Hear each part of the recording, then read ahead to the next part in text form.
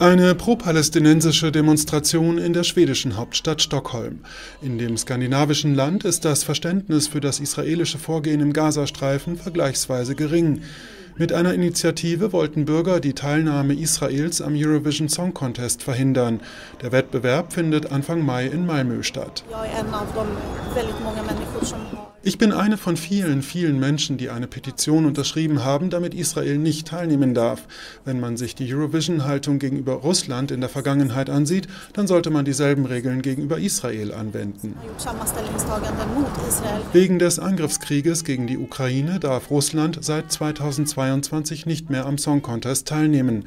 Israel dagegen wurde in diesem Jahr zugelassen, wenn auch nur unter der Bedingung, seinen Beitrag noch einmal zu überarbeiten. Polizei und Veranstalter stellen sich auf Proteste ein. Uh, Wir planen für alle Szenarien. Wir sind auf Demonstrationen in der Stadt und um die Arena herum eingestellt. Und wir erwarten auch Proteste im Inneren.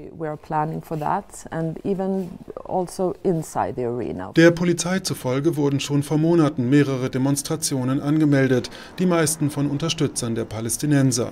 Malmö ist in Schweden für seinen hohen Anteil an Muslimen bekannt. Schon 2013 wurde hier ein Song Contest ausgerichtet. Och redan 2013 hade vi en mindre demonstration wir hatten 2013 eine kleine Demonstration gegen die israelische Teilnahme.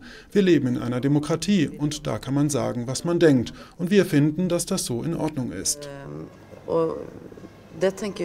äh, Malmö erwartet zum Song Contest rund 100.000 Besucher aus Dutzenden Ländern. Den Musikwettbewerb werden wohl wieder an die 150 Millionen Menschen live im Fernsehen mitverfolgen.